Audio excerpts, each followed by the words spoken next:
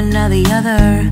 Ah, so far is the echo, when do we start?